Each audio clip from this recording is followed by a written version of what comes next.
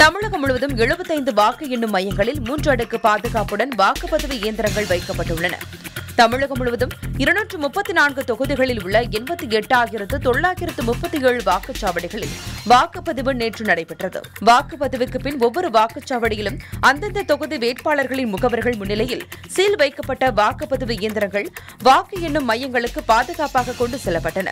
சென்னையில் மூன்று வாக்கு எண்ணும் மையங்கள் உட்பட மாநிலம் முழுவதும் எழுபத்தைந்து வாக்கு எண்ணும் மையங்களில் தொகுதி வாரியாக வாக்குப்பதிவு இயந்திரங்கள் வைக்கப்பட்டுள்ளன. மையங்களில் ஒவ்வொரு தொகுதிக்கும் தனித்தனி ஸ்ட்ராங் ரூம்கள் ஒதுக்கப்பட்டுள்ளன. சீலிடப்பட்ட அந்த அறைகளுக்கு வெளியே துப்பாக்கி ஏந்திய துணை ராணுவ படையினர் பாதுகாப்புக்கு நிறுத்தப்பட்டுள்ளனர். மேலும் ஆயுத படை காவலர்களும் பாதுகாப்பு பணியில் ஈடுபடுத்தப்பட்டுள்ளனர். வாக்கு எண்ணும் மையத்தின் நுழைவு வாயில்களில் காவல்துறையினர் பாதுகாப்பும் போடப்பட்டுள்ளது.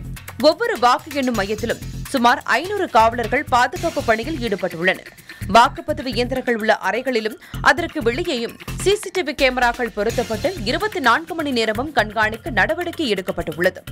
வரும் மே இரண்டாம் தேதி அனைத்து மையங்களிலும் வாக்குகள் எண்ணப்பட்டு தேர்தல் முடிவுகள் வெளியிடப்படும்.